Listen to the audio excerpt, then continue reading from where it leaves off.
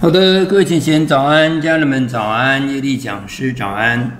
大家欢喜来读圣训，当清晨的钟声敲响，唤醒我沉睡的心灵。一天的早课即将开始，学院的菩萨们陆续上线，一切都是自动自发的精进。大家欢喜来读圣训，让我一次次与仙佛更亲近。感谢仙佛教导我幸福的道理。给我汲取太和正能量，让我全身充满太和元气。这是幸福满满的修行功课，也是心灵提升的美好之粮。愿一切都平安吉祥，愿世间都和平安康。感恩上天的慈悲，感恩上天的慈悲。今天我们要继续来到第八十二次啊，世界大同圣心的研读。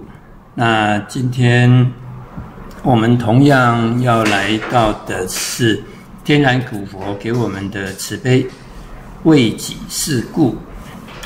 那这篇信呢，我们呃已经有学习一部分了哈。来，我们再把前面的复习一下。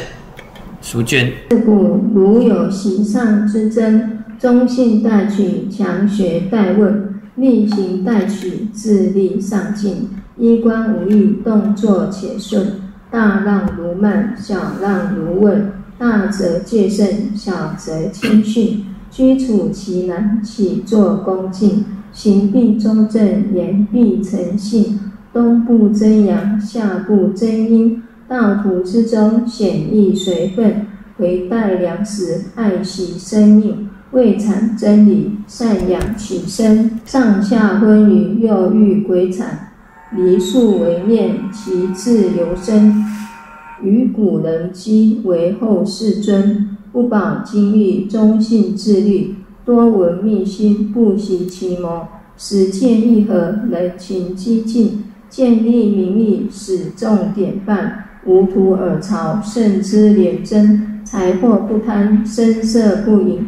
亡者无憾，无需摧毁。是与非也，流言不及。守真明过，不再谈论。好的，这一段古佛给我们慈悲的，主要就是讲一位大同理想的实践者，他本身也是一位大儒真儒啊。这样子的真儒啊，要能够经得起时代的考验，尤其是在黑暗时代啊，有各种的苦难。那再大的苦难呢，由他来承受，哎，而。经历这种苦难呢，也啊不改变他以众生为念，呃念念是众生就是菩萨，让人格成为后世的楷模。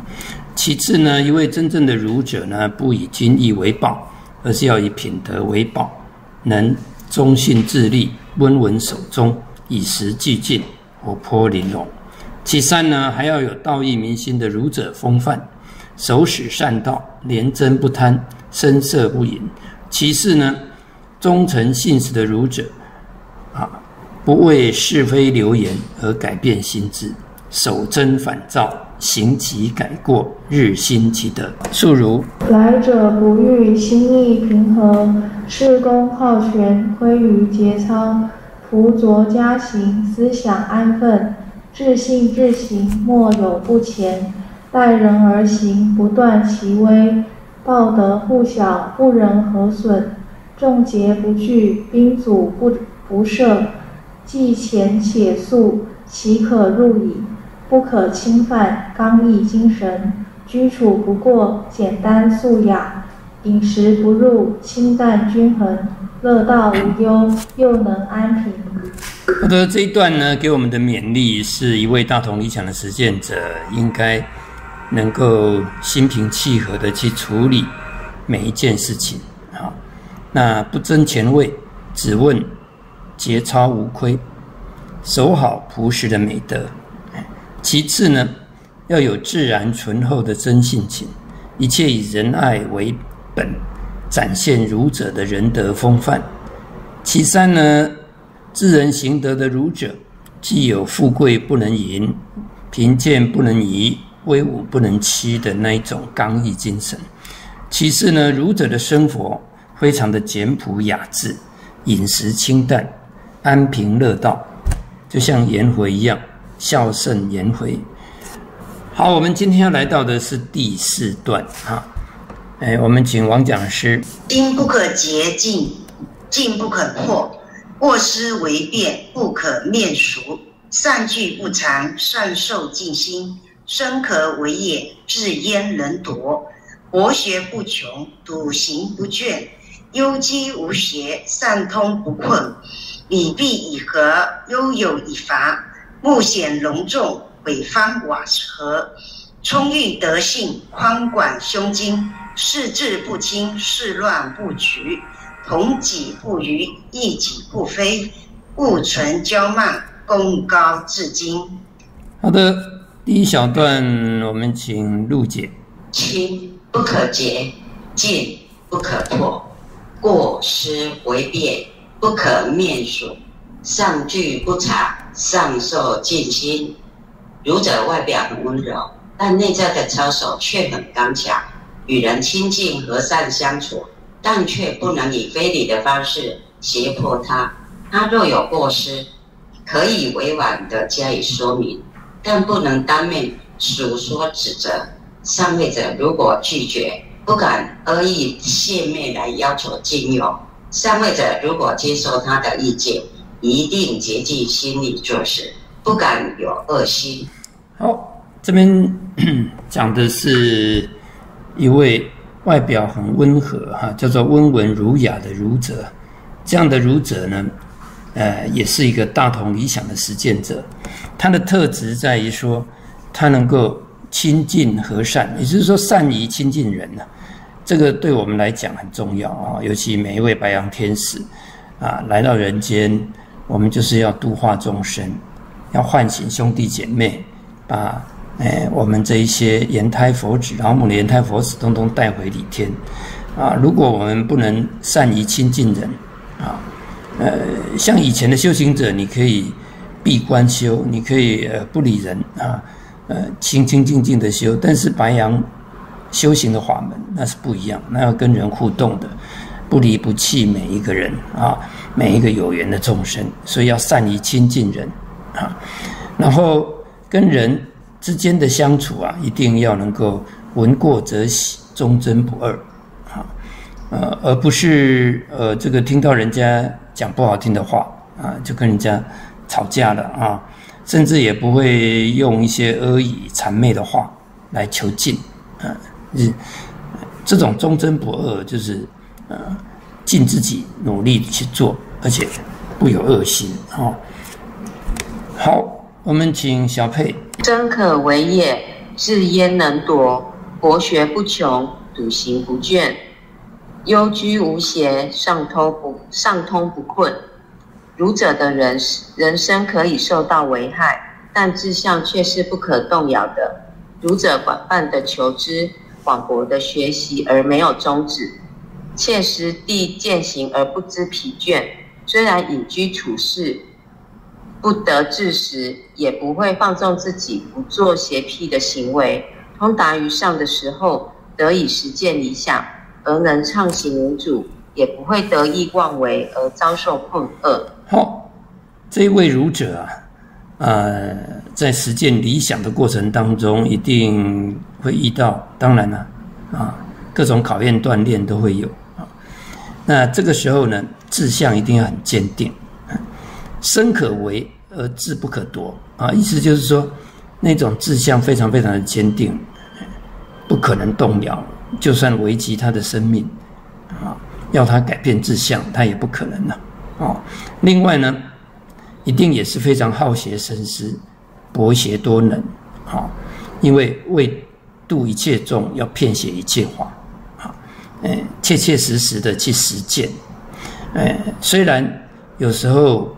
隐居独处，不见得每一个人都一定会有很好的舞台可以发挥啊。哎，但是人不知而不愠啊，他依然做他可以做的事，不知疲倦，笃行不倦了啊。就算没有他发挥的舞台，没有他发挥的作用，他也是默默的修自己的内德，不做邪僻，嗯，以至于呢，终将能够有所发挥，哎，通畅无阻，通达无碍。业力讲师，礼毕以和，悠游以法，目前容众，北方和瓦，北方瓦和。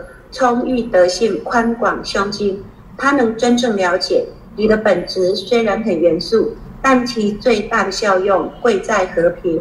对于能以悠游温和的方式处事者，效法他；对于有才德的贤者，仰慕并推举，也宽厚的对待广大群众。虽应该有自己方正的操守，然而有时也要隐藏其棱角锋芒，与一般群众相隔。儒者在待人处事上，往往是充裕自己的德性，宽容厚裕，对广大胸襟，来平易近人。呃，所以啊，我们天然古佛很慈悲了，勉励我们，当一位呃大同理想的实践者，本身并不是一个疾言厉色啊，一个很严肃也不容易亲近的这样的一个人。啊，其实他是一个温文儒雅的儒者了，啊，那借着不离不弃所有的众生，用这样来磨练、来锻炼自己，所以呢，礼以和为贵，他会非常重视啊这种礼的实践，嗯从这当中来修炼太和，同时呢，在跟人的互动当中，哎，宽厚的对待广大的群众，同时呢。嗯，也哎，尊敬每一位贤德者，同时又要隐藏自己的棱角锋芒啊，嗯，这个叫做目贤容众，以充裕德性啊。所以这这位儒者呢，一定都是一位心胸非常的宽广啊，能够包容啊一切的众生，而且又平易近人，这样子的一位 温文儒雅的儒者。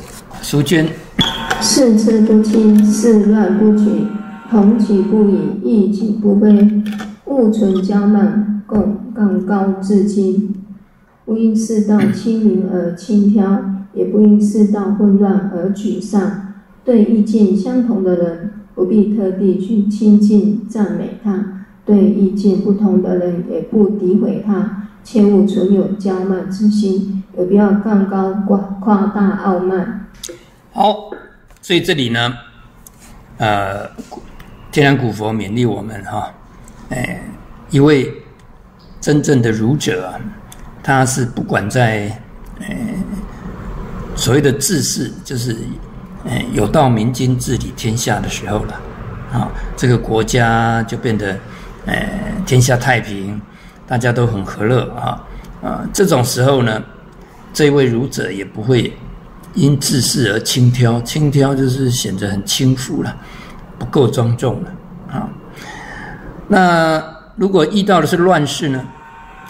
这位儒者呢，也不会因为乱世而感到沮丧啊，而没有那个动力去努力实践心中的理想，好像觉得没有希望这样子啊，不会啊。所以同己不以，异己不非啊，呃。同己就是对赞美他的人呢，啊，跟他意见相同的人，他也不会因为，呃，这样子呢，就对这个人嗯特别的亲近，特别的赞美啊。那异己呢，就是诋毁自己的人，甚至跟自己意见不合的人，也不会因为这样子就去批评他，去讲他的是非啊。所以这种叫做不骄慢、不自矜啊，这是一个儒者的风范啊。好，所以这一段的重点是讲一位实践大同理想的儒者，他应该要有温文儒雅、善于亲近人、闻过则喜、忠贞不二的这样的修养啊。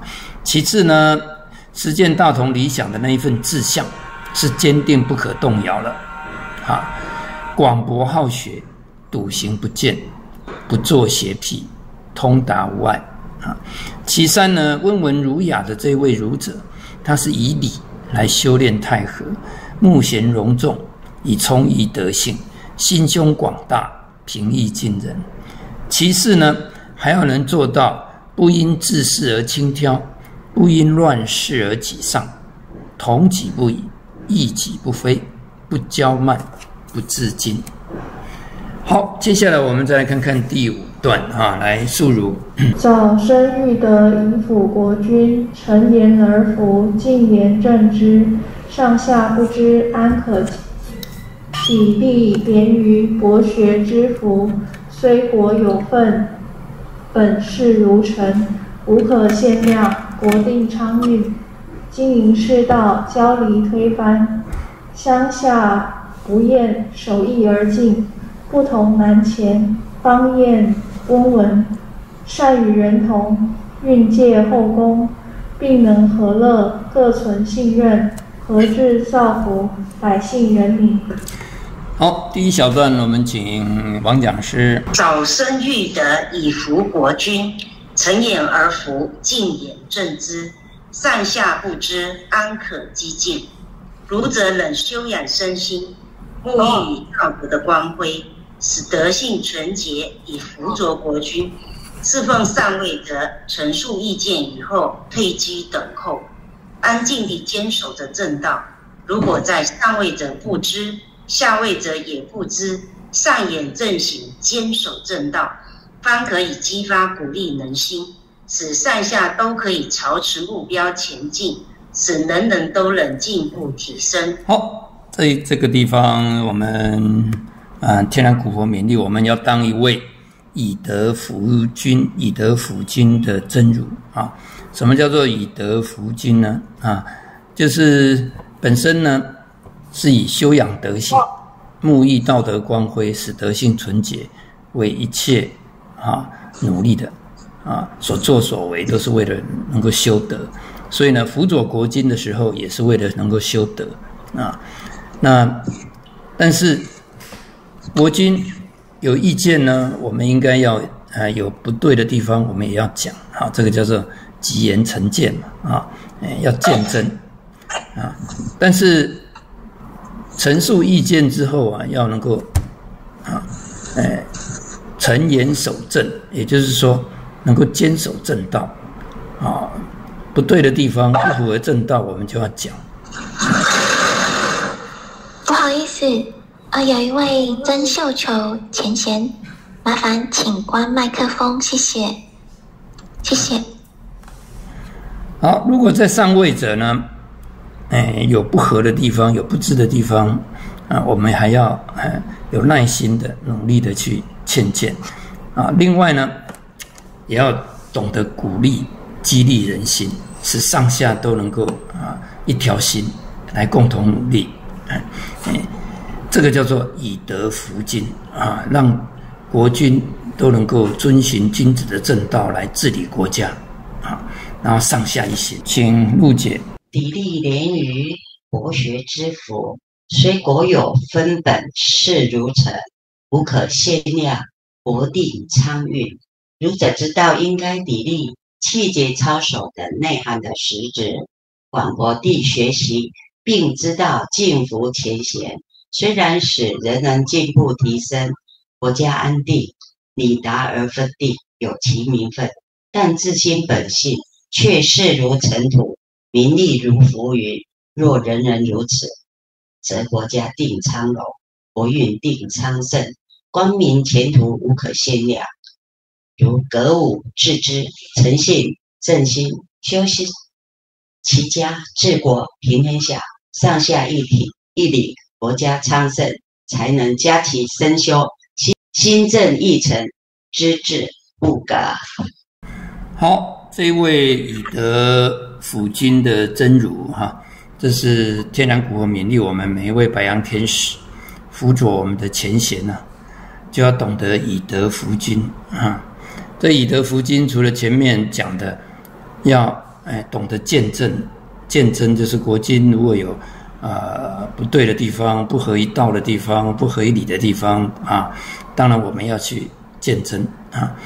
同时呢，呃，以德服君的真儒呢，也能够上下非常的团结啊。在前面讲的，那这个团结一心呢，还要懂得互相砥砺，砥砺气节操守，啊，共同为国家来努力啊。然后整个国家的兴衰荣辱，都是我们每个人要放在心上啊，就是上下砥砺了那一份呃团结，那一份节操，共同来努力。那尤其呢是廉洁而博学，达理而民愤啊，这一方面呢要更。做的努力啊，让国家能够呃国运昌荣、光明前途无可限量。我们请叶丽讲师：经营世道，教理推翻，乡下不厌守义而进，不投南前，邦彦温文。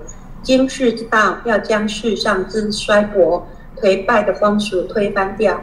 与人相处，要彼此谦虚，相待没有厌倦，行为举止以道为本。所有建立也都合于正义，守着道义而前进。志不同，道不可，则难以前进。人人如此，国家则美好，又有文化气息。好，这位以德辅经的啊，这位真如啊，他一定是一位懂得以道来经世、挽颓风的这样子一位儒者啊。那以圣人之道了，来挽。颓风，挽社会的颓风啊！尤其这个国家社会，如果啊越来越呃败坏啊，所以道德啊、良心啊败坏啊，这种要懂得用道，呃，天下立言之以道来挽颓风，这样子的儒者，他就是一个以德如夫今的一个真儒啊。同时呢，这个时候。待人谦下恭敬不厌倦，那一种修养以及行义守正，以尽德修业，能够成就一位温文守中的燕儒，能够这样子来努力呢，上下一心，成就一个美好的国家，有那种啊美文化的美好的气息。好，来我们最后再请呃淑娟，善与人同，欲借后宫。病人和乐，各存信任，何自造乎百姓人民？儒者听到有利于修养的话，一定会彼此相告；看到一些有益于德性的事，也会互相转告。借着有益于自己本身修养德性的话来勉励提醒自己，随时要遵循以孕育其身后功德，并且能和乐一片，互相信任。志同道合的共同造福百姓人民。好，这位以德辅君的真儒啊，一定要能够做到说，让这个国家、这个团体上上下下大家都非常和乐啊。这种善与人同的那一种，嗯，能够上下一心啊，而且善与人同，能够调和大家，哎，而且借着这个来孕育。丰厚的德性，有时候牺牲自己来成就团体，或者成就大家啊，不要斤斤计较个人的利益，嗯，那善与人同，能够跟大家都能够多能够沟通，带领大家啊，意见能够一致啊，这样子呢，慢慢的能够把大家凝结起来啊，这个是很重要。另外呢。诚信和乐达太和啊！当然，这整个实践的过程当中，要得到大家的信任，呃，一切以和为贵，自然呢，这个团体就会变得很和乐。哎，那和制造福啊，能够大家团结一致啊，和乐一片啊，自然能够团结力量大，共同为人民来造更大的福福啊。好，这一段呢，所讲的就是一位以德服经的真儒了啊，他能够诚言守正，上下一心，互相激励以求进啊。其次呢，这位以德服经的真如能够呃退而下来，以大家互相相互砥砺，气节节操，为这个国家，为这个团体啊。能够守住廉洁而博学，达理而民愤。其三呢，他能够以道经世挽颓风，能够待人谦下，恭敬不厌倦，行义守正，以尽德修业，成就温文守中的一位艳儒啊。其次呢，这位以德服君的真儒呢，能够善与人同，运厚德了啊，团结大家啊，并且呢，达到一种呃，大家都能够很真诚、诚信的在一起，能够很和乐，达太和啊，而且结合大家的努力，共同来造福天下人民啊。好，接下来我们还是要来读一段我们的呃弥勒净土的实践哈。好，那个素如做一位大圣弥勒净土的实践者，有一个墓碑上刻着：这个人出生的时候是一个人，死的时候是一个补锅匠。那么大家想，他复活的时候是什么人？是什么样的呢？如果如果只有一些世俗上微不足道的价值，那将随风而逝，何来复活可言？因此，大家要借着今天所讲的一切，来反省自己到底能成为一位什么样的人，好吗？好，佛佛老师很慈悲，他来勉励我们的重点就是要我们想一想，啊，反省一下自己，到底能够成为一个什么样的人。啊，因为人最终哈离开这个世间，就是就剩一个墓碑嘛。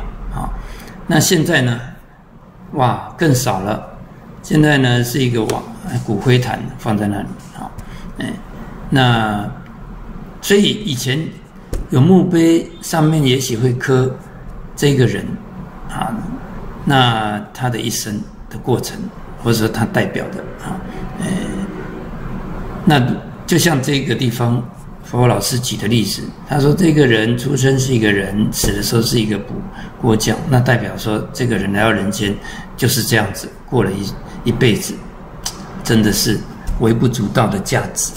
所以佛老师提醒我们，不要做一个微不足道的人，啊，而是要做一个人人所哎哎称赞、所赞美、美名永流传。那个德泽，哎，能够流传世间的这样一个人，好，王讲师，就像最后一体剧组大来讲，你们能接受剧组大里面所讲的事实吗？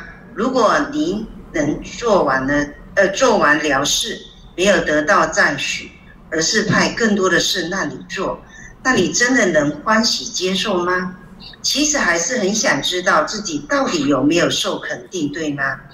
希望你们把你们的承诺真的记在心里。好，前面呢，佛老师慈悲跟我们讲记足大，好，这个记足大就是讲一个承担力了。啊，当我们做完了一件事，前贤给给我们交派交派的事，啊，呃，我们也也许我们会觉得说，哇，终于做完了啊，我要好好休息了哈。啊，怎么又有这么多事啊？没有赞赏，只有事更多啊。这个时候我们是用什么心态来对待呢？如果我们是用欢喜接受，觉得自己受肯定啊，然后呢，诶，很勇敢的继续努力来做，那个叫做记足大啊。如果相反，我们觉得很累啊，每次都找我，那我很想休息，我不想继续做这样的事了，甚至逃避啊，那个就没有记足大。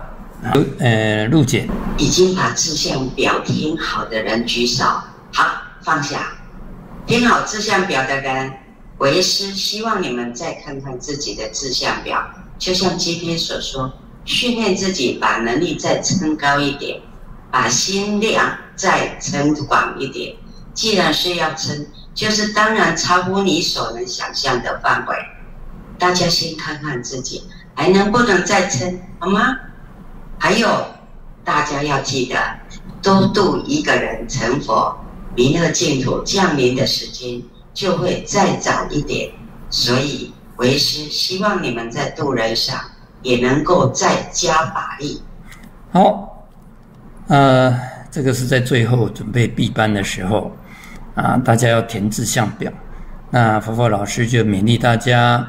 要把能力再撑高一点，把心量再宽广一点，啊，哎，也就是承担力要多一点，啊，心量要广一点，哎，这样子我们才有办法多度一些人，啊，多为人间净土的来临而努力哈。来，小佩再帮我们读一下这一页。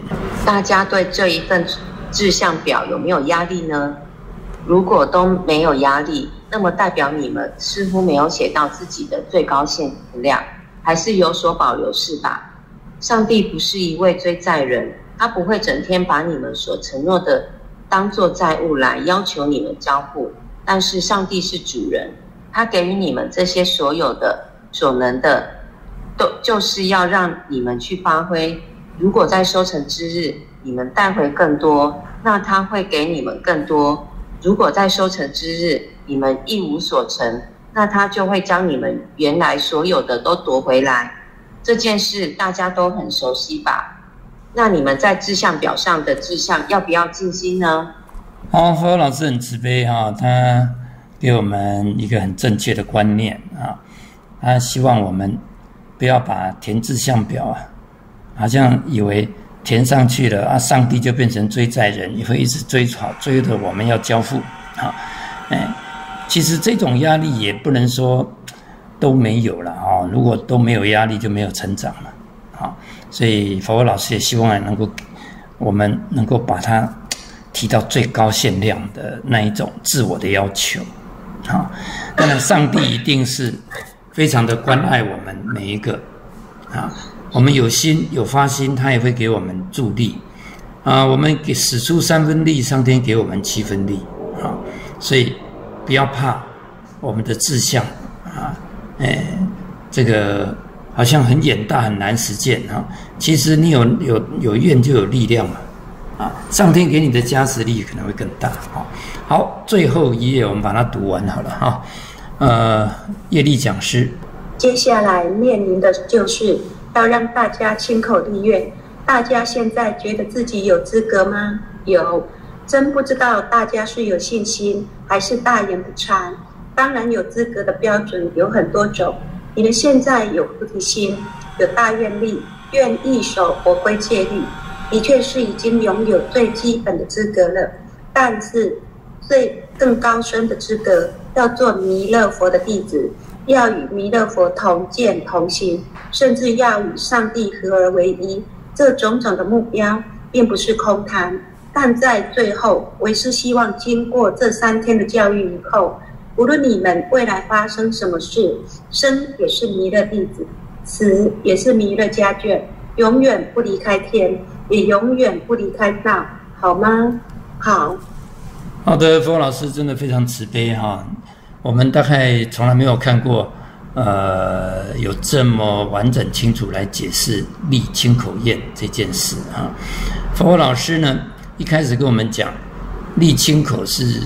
入弥勒净土的入门票啊，等于说你这是一个很基本、基本的了啊。那同时呢，立清口也是成就大圣弥勒净土的一个实践者啊。所以佛老师为了把这个大圣弥勒净土讲清楚，他用七大来给我们讲解这个大圣啊，所以让我们整个嗯。思想眼界都向上提升哦，原来大圣的内涵这么样的丰富，这么样的让我们心向往之啊，这么样的能够让我们知道该怎么来做啊，来努力，哎，来提升自己，来答疑大圣弥勒净土的一个实践者所应该有的。好，呃，我们这里刚好告了一个段落哈。